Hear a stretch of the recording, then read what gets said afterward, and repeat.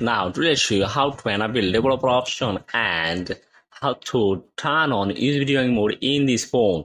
Let me see phone in my hand. This phone is Realme Note 50. If you want to enable developer option and enable USB debugging mode, for this first you have to go to the option called settings. When you go settings, it will be presented with many options from here and scroll down scroll down you can find the option called about phone.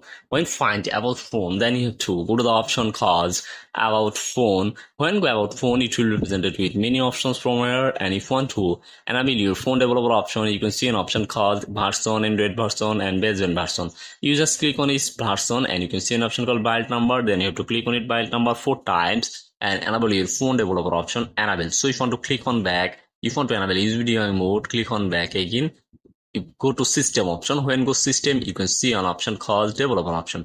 Then if you go to the option called developer option. When go developer option scroll down scroll down you can see an option USB debugging if you want to turn on your USB debugging mode you just turn it on this option and enable your phone USB debugging mode and click ok. And if you want to disable your phone developer option you just turn it off this option use developer option and click on restart and disable your phone developer option. So if you want to like this video please subscribe my channel